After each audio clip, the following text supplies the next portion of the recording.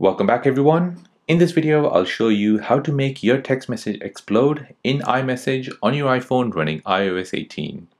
So with iOS 18, you have now new animation features for your iMessage. So here I'm explaining the explode feature. So let me show you how to do this. Go ahead and open up iMessage. Go to the person who you want to send it to.